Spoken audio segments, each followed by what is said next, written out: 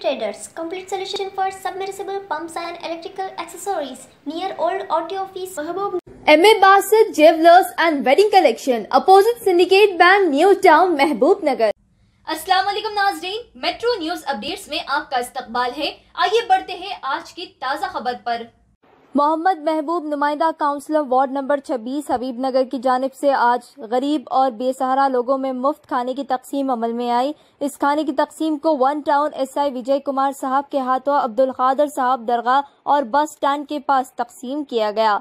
इस मौके पर one town SI Vijay Kumar ने मुखातिब करते हुए कहा कि लॉकडाउन में गुरबा के लिए खाना फराहम करना बहुत ही नेक काम है जिनकी इन्होंने सिताइश की। आज अभीम नगर काउंसलर साहब, महबूब साहब आके एक खाना डिस्ट्रीब्यूट करेंगे खाने के पैकेट्स है सब बोले तो आ गए यहाँ अब्दुल कदर दरगाह के पास आके। बहुत लोग, सारे लोग तो क्या हुआ लॉकडाउन से होटल जो बंद है, उससे जो रोडों पे है, उनको खाना नहीं मिल रहा। इसीलिए उन्होंने एक अच्छा काम करे आज। उन्होंने आके एक पचास पैकेट हम पूरे जो जो रोड के साथ बस स्टैंड में रेलवे स्टेशन वो एरिया में जो है उनको पूरा डिस्ट्रीब्यूट कर रहे थे। मैं भी, हम पुलिस वाले भी आके उनके साथ अटेंड हुए प्रोग्राम में।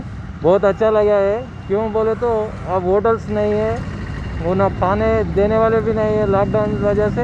इसलिए एक अच्छा काम करे उन उन लोगों। बहुत उनको, उन लोगों को बहुत बहुत शुक्रिया। वैसे आगे वैसे के प्रोग्राम सभी अच्छा करना बोल के मैं चाहता हूँ। और करें, करे उनको बहुत शुक्रिया। काउंसलर अल्लाम वरहमल वर्क मैं Mohammed Mehboob, Habib Nagar councillor, ward number 26 हम लोग मुसलसिल पिछले साल लॉकडाउन में भी बहुत गरीब गुरबा में खाने के पैकेट्स और तकसीम किया है। अल्हम्दुलिल्लाह, आज भी जुमे के दिन भी आज हम लोग बाद नमाज़ जुमा जो है ना, अब्दुल खादर साहब दरगाह के पास जो गरीब लोग हैं, उन लोगों को भी खाने के पैकेट दिए गए। और अल्हम्दुलिल्लाह, बस स्टैंड में जो मुसाफिर, जो गाँवों को जाने वाले जिसको बस नहीं मिली, उन लोगों को भी हम लोग आज पैकेट खाने के पैकेट दिए गए।